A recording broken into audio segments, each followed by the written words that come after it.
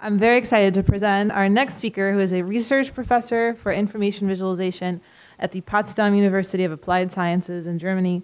Motivated by the design opportunities and research challenges arising from growing information spaces, he's particularly interested in the potential of visual interfaces to support exploratory information practices. Please give a warm welcome to Marian Dörk.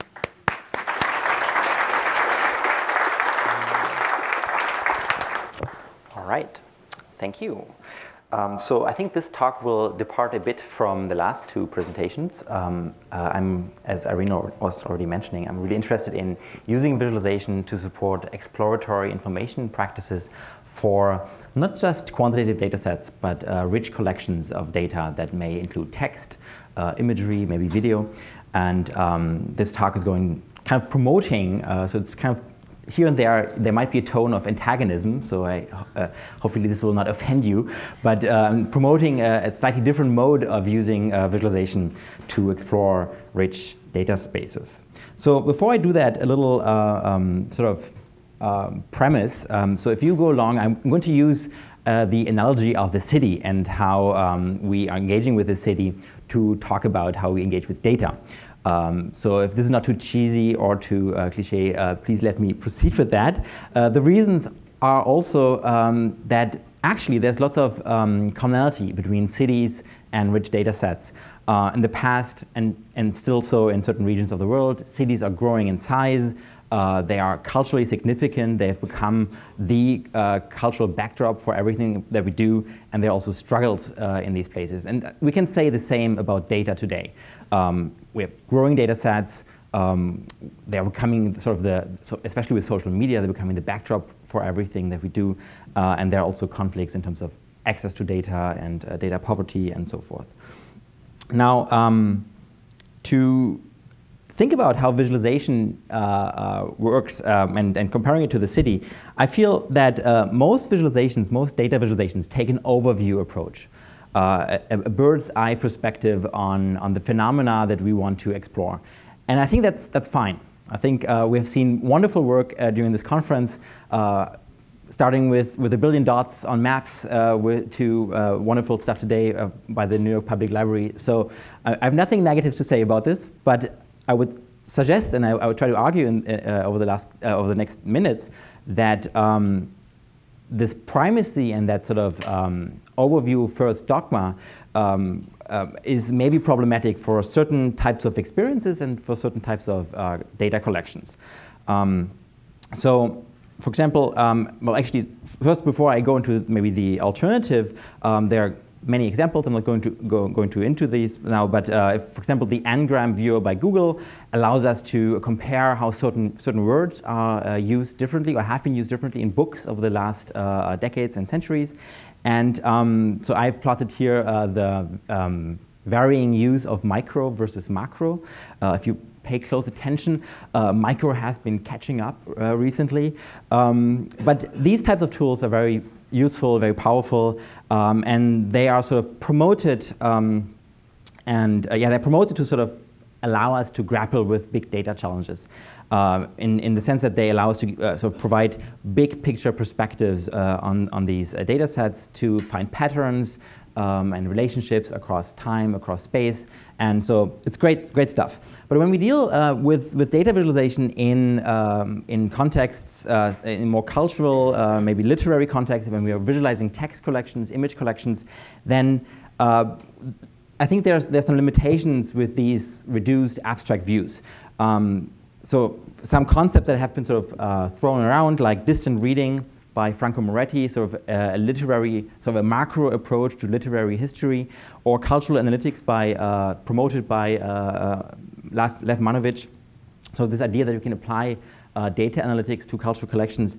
Uh, I think uh, these, these initiatives and these um, concepts are very useful, but um, I think especially in the cultural sphere when we're trying to make sense of sort of our cultural legacy and, um, and uh, trying to make sense what it means to be human, uh, I think uh, they, uh, they make a promise implicitly, uh, and I think that's also the promise that visualization is making here and there, that we can see everything from nowhere. And here I'm citing Donna Haraway. Uh, she was using that phrase in the late 80s uh, sort of criticizing objectivist, positivist science, where um, she was arguing actually, in many cases, the more situated, more partial knowledges, the more partial perspectives might be uh, the more uh, powerful uh, um, insights uh, to gain. Now, picking up on that idea of partial situated perspectives, I would argue that uh, if we want to understand a phenomenon, maybe we actually have to get closer uh, to the phenomenon. So here, a few uh, um, sort of uh, scenes from, from Paris. I, uh, the, the, first image was also from Paris. If we actually go onto the street level uh, um, of a city, we will probably engage more closely with the phenomenon that we are trying to understand, what maybe in this case city life is about. So, and, and this sort of, this notion of situated views um, is also implicitly also uh, um, um, advocates uh, movement. So you're actually moving between these views. And that the changes that we experience as we move uh, through a rich uh, data set uh, is also part of the analytical uh, process. Um, yeah. So, and to actually um, make sense of that uh, and, and, and, inform visualization design, interface design, I found the cultural figure of the flaneur to be quite instructive. So um, it was uh, sort of um, promoted by Walter Benjamin and picked up by uh, loads of um, researchers uh, in cultural studies. The flaneur has been sort of characterized as this urban character who's roaming the streets and squares of Paris in the middle of the 19th century. Um, he, so it's actually a masculine uh, person, persona, so that's something to be uh, um, uh, closely looked at. But uh, his attitude towards the city, I think, is quite interesting. Uh, he is wandering around, um, not really with a clear destination, but with a very uh, expressed goal to uh, make sense of what city life is about.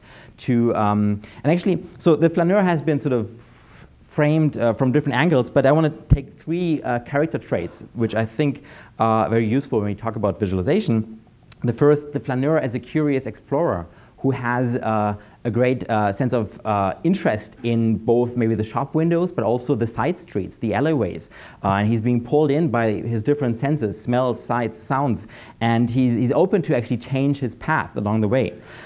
As he moves in that sort of uh, non-goal directed or this sort of more open-minded way, he also develops uh, his own pace, his own privileged perspective on the city that maybe everyone around him who is uh, just running from A to B might not actually have. And by doing so, he's also uh, portrayed as a critical spectator who outlines or who um, uh, actually uh, states where, where the issues are. So when, when the flaneur was coming up as a sort of as an urban figure, uh, there was really the alienation in the city, uh, mechanization, um, and um, sort of, yeah, negative side effects of capitalism that were sort of happening around him. And he was pointing these things out.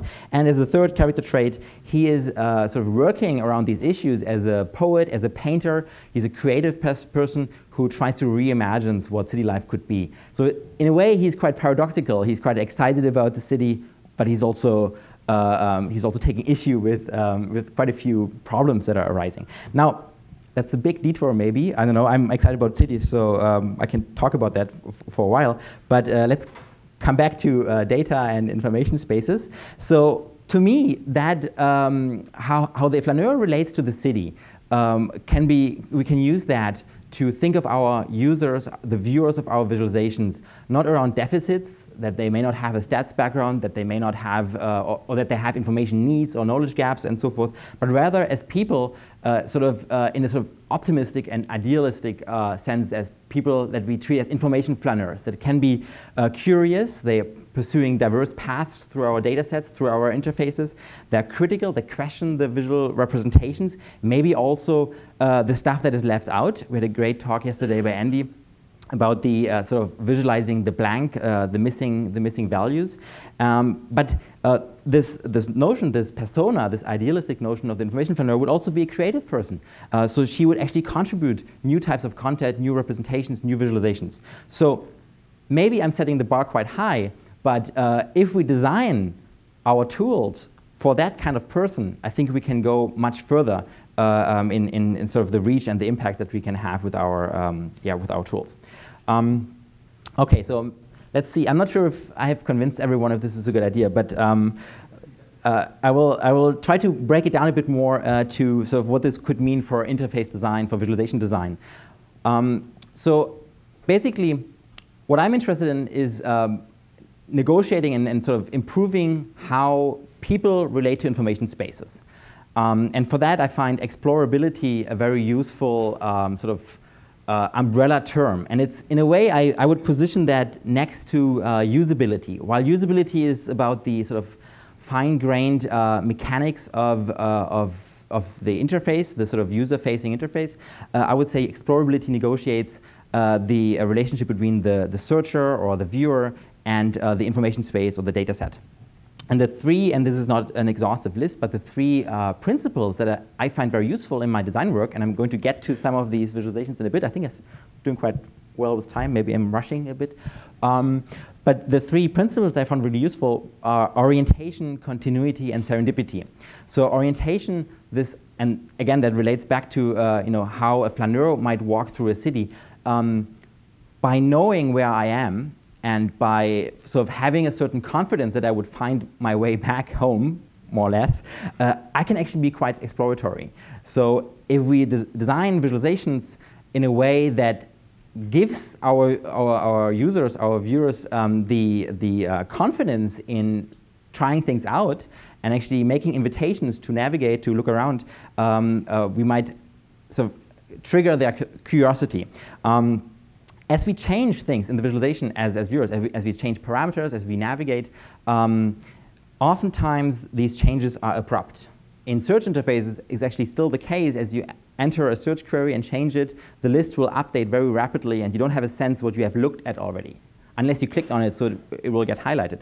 Um, the same is true just for browsing. If I go from one link to the next, if I go from the, the start page from New York Times to an article, there might be an overlap. The title might still be the same, but it's just perceptually, it's very abrupt. So in our visualizations, what I'm promoting is actually have more continuous experiences. So there's this, um, this um, perceptual notion of visual momentum. So if we have display state changes, um, can we actually connect these display states uh, that we're going, that we're moving from if there's some kind of overlap?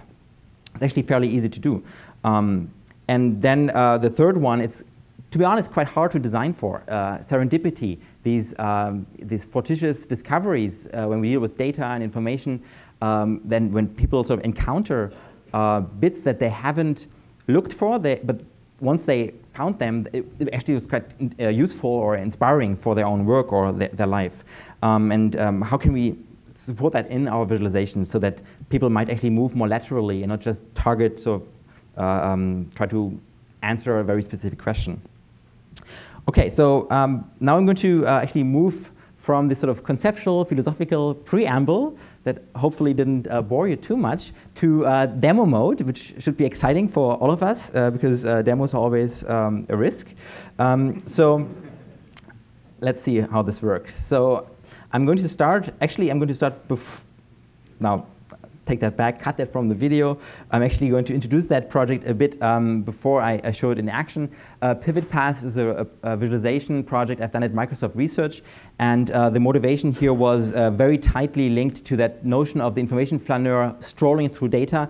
And so we had the goal to uh, help uh, the sort of information flaneur relate the resources, in this case the resources will be publications, academic publications, and the facets that are related to them, and encourage a gradual movement, a gradual pivoting through a very large uh, database of, of publications. Um, we started out with uh, just trying to understand some of the basics of that information space. It's a tripartite information space that has resources at the middle that, that can reference each other. Uh, then there are people involved that are the authors, and we have um, concepts such as keywords that actually portray the aboutness or topicality of these resources. Um, we designed uh, sort of very basic elements uh, for these different um, uh, entity types that have some basic uh, interactive capabilities. Uh, we arrange that, we give them different uh, sort of visual states depending on how you interact with them. we arrange them in a sort of three-band layout.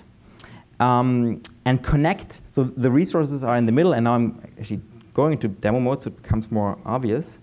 Um, so the resources, in this case the publications, so you probably can't read the text, but that's okay. But there is text, that's important. Um, so, um, so what's happening here is on the left we have um, Mary Czerwinski. She's a Microsoft researcher, and uh, she at this moment at, at this uh, uh, um, time in the interface, she's the anchor for that view. So um, the, her most cited papers are uh, selected, uh, and they're arranged in the middle uh, diagonally in green. And um, the point here I mentioned uh, in terms of sort of orientation, actually making invitations to go around. So everything that is on the display, before I tell you how things are arranged, everything can be clicked on and you can navigate around these elements. So the, the papers are arranged by number of citations, something for some reason academics care about.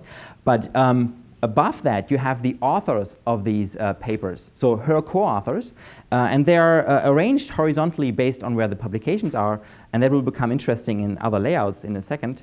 Um, but they are also uh, sort of ordered vertically based on their degree. So uh, as you see, for example, here, George Robertson, he's uh, on the top because he's actually connected with quite a few papers, so he's a very active co-author of hers.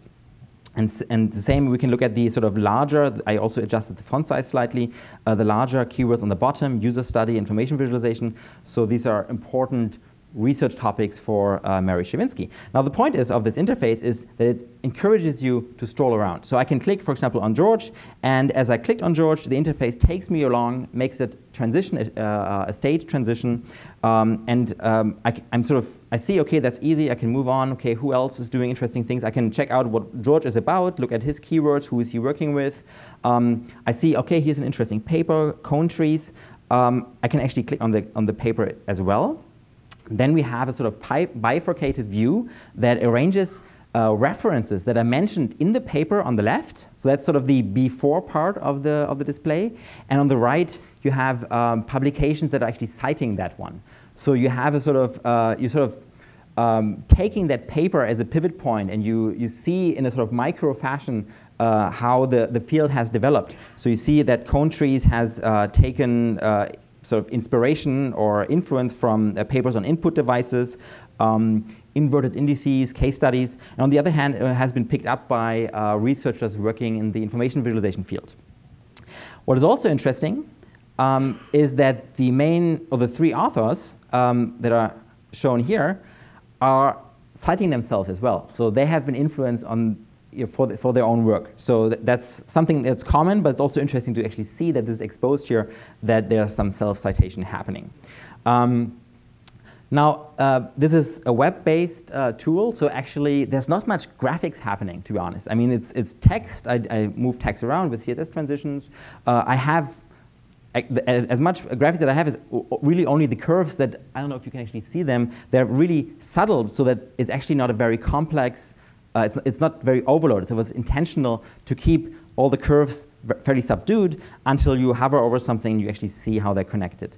But so this is web-based, so I'm actually using the back button and I can use it. So I go back to Mary Czerwinski and I want to show you a third layout that this, uh, this prototype supports, the comparison layout.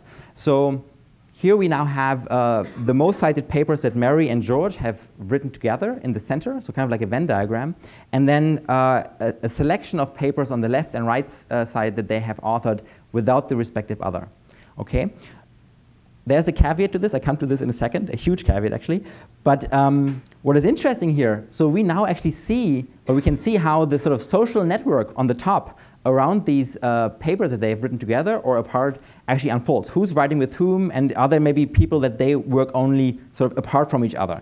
So that's, that's one thing that, that you can explore with that.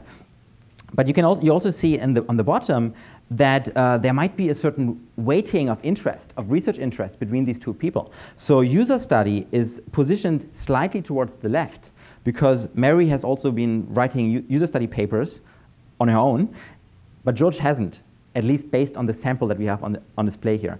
Uh, on the other hand, we have user interface on the right, so slightly moved more towards uh, George's side, and uh, it suggests that George maybe has been more involved with creating user interfaces. And this actually confirms what we know about these two people. Um, Mary Czerwinski is a cognitive, cognitive psych, uh, uh, psychologist, and George Robertson is a software engineer. So they were actually sort of a dream team uh, for several years at Microsoft Research. Uh, she was doing the studies, he was uh, creating you know, really whiz-bang interfaces, and they were making stellar research. And that sort of role allocation actually comes out uh, in the arrangement of the keywords of the papers below here. Okay, so um, taking a breath. Um, so basically, that's, that's Pivot Path. It's a, it's a prototype that sort of illustrates um, this notion of strolling through a rich collection. We deployed that for a couple of weeks within Microsoft, and um, there was largely positive feedback. Uh, so mainly uh, focusing on sort of aesthetics, on the movements that are happening.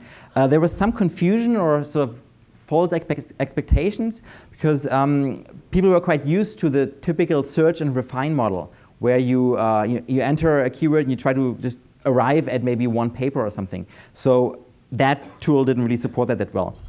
Something else um, that didn't really come up so much in, in, in, the, in the feedback, but that we really grappled with uh, throughout that uh, uh project was that we were actually cutting a lot. So when I, when I select Mary, I haven't selected a keyword, and I did this that purposefully. We're only showing the most, in this case, that based on the screen resolution, we're showing the top cited papers of hers, 26 of, in this database, I think it's uh, a little bit under 100 papers. So we're cutting a lot of papers, and we don't actually give presence to these papers in that interface.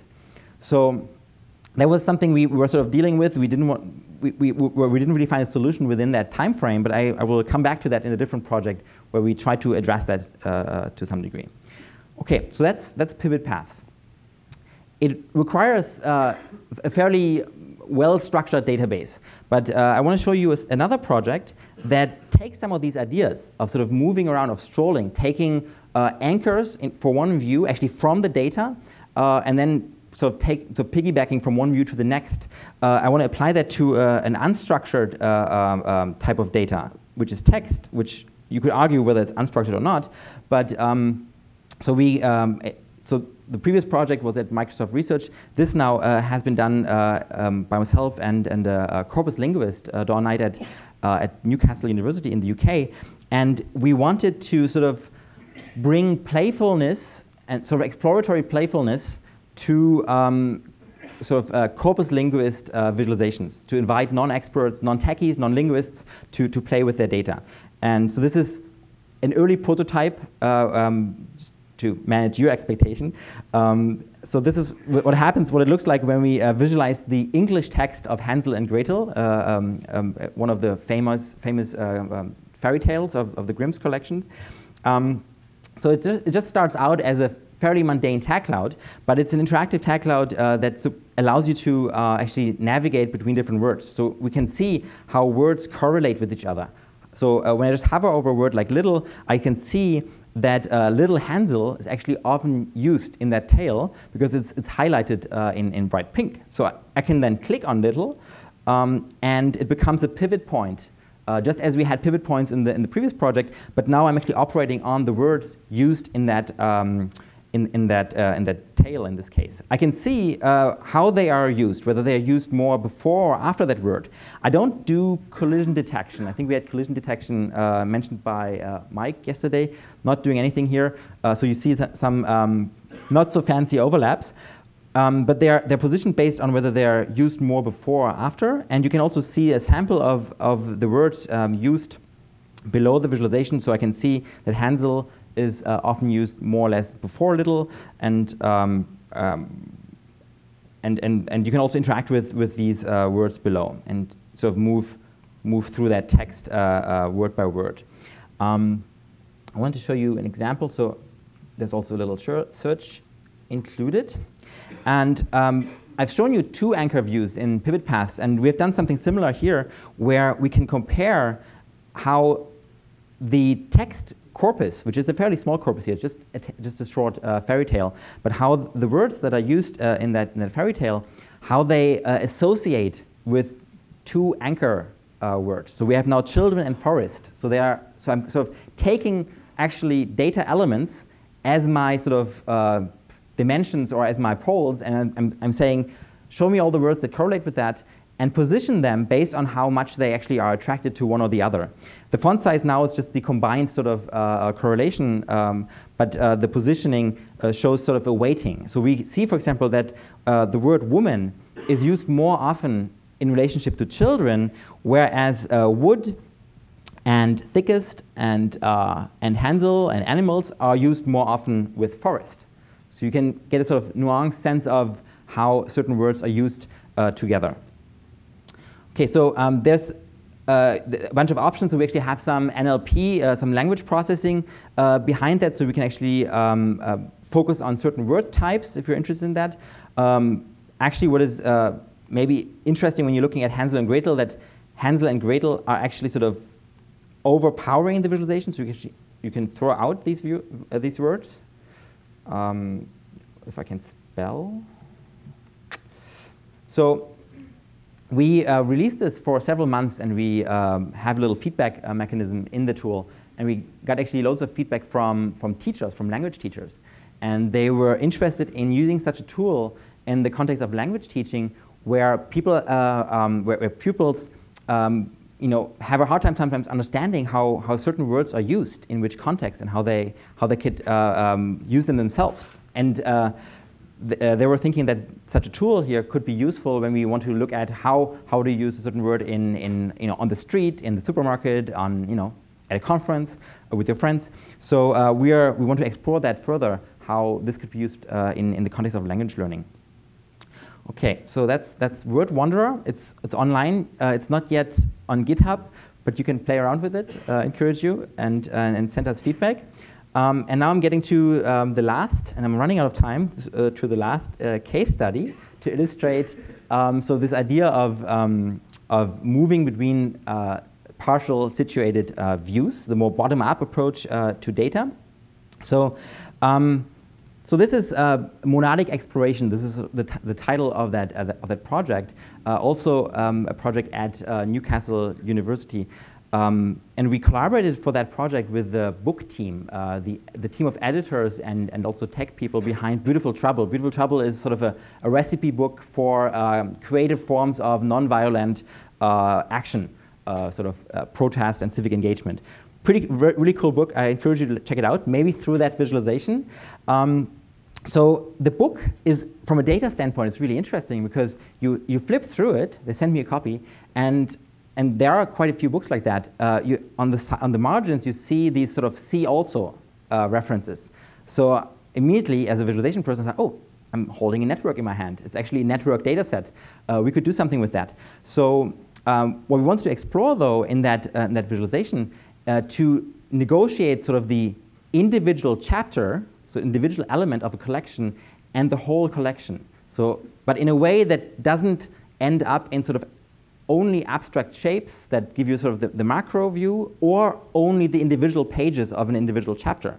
Um, so how, what we did here is we create that circular arrangement with the search box in the middle. So I can actually start with a search if I want. So considering protest, oftentimes this happens in the streets, so I can actually enter street. You have to trust me that I'm entering this right now because I think it's tiny on the screen. And as I enter that, um, the, um, the relevance, the search relevance, actually then used for the displacement around the circle. Um, so I see, for example, uh, Billionaires for Bush uh, apparently did some street actions, uh, reclaim the streets, streets into gardens. So I'm selecting one of these because I'm interested in maybe reclaim the streets, has been around for a few years now. And now selecting a node replaces the search that I've done before, and now the other elements of the collection are arranged based on their attraction, based on their sort of affinity within the network. So the direct neighbors in the network are uh, highlighted in, in, with these sort of dark dots. And uh, then there are sort of indirect neighbors that have certain neighbors in, in common. And they are also shown uh, with their label, but in a more subdued and a brighter color. So we can get a sense, okay, they have some kind of affinity, but they're actually not mentioned by the editors as, you know, as directly related.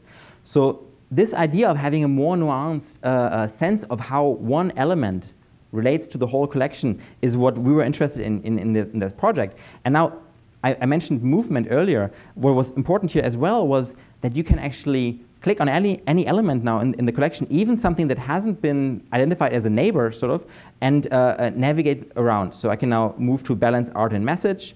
Um, I can look at uh, theater of the oppressed. So I can sort of let my interest in that uh, collection drive my uh, navigation. Um, and if I, for example, actually want to depart from that path. So that path right now might look like it's all about similarity. Similar items are popped up. No, I can actually say I'm uh, uh, explicitly moving to the periphery of that visualization that may have nothing to do or very little to do with the selection.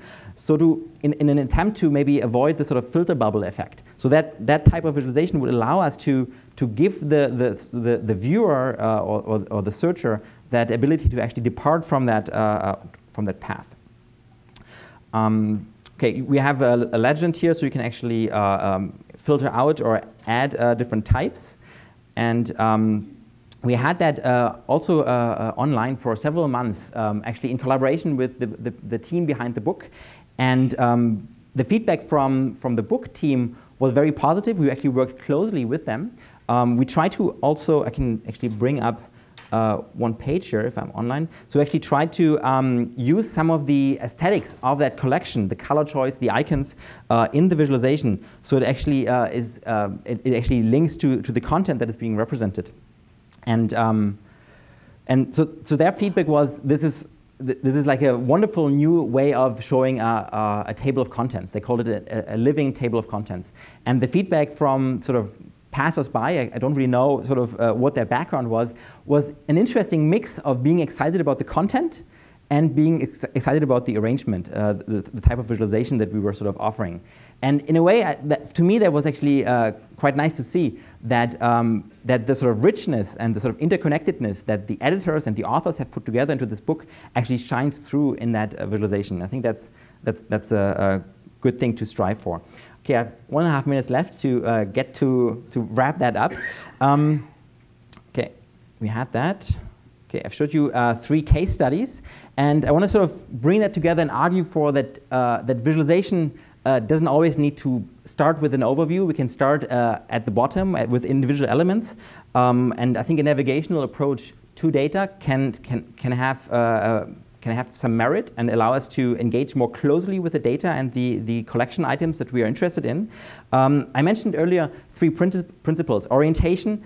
Um, in these tools that I've shown you, um, I actually used the, uh, the data elements. I used uh, facet values uh, and words and, and the titles uh, of, of the chapters to actually engage with the data. Actually, I didn't show you much GUI most of what you've seen were, were actually data elements and labels, and they are used to then pivot through the data. Um, the display state changes were animated, and especially in the last project, these animations are meaningful. They're loaded with, uh, uh, to, to portray the difference between different perspectives. When I go from one case study to a, to a principle, actually the way things move in and out portray the difference in relationship. So it's not just, it's not just a sort of um, uh, a tweening, but it's actually meant to uh, help you understand the differences between the elements. And uh, serendipity, in all these views, uh, there are sort of these tangential ways that help you to uh, explore uh, different aspects of a data set and um, hopefully positively get lost and, and find your way back if you, if you choose so.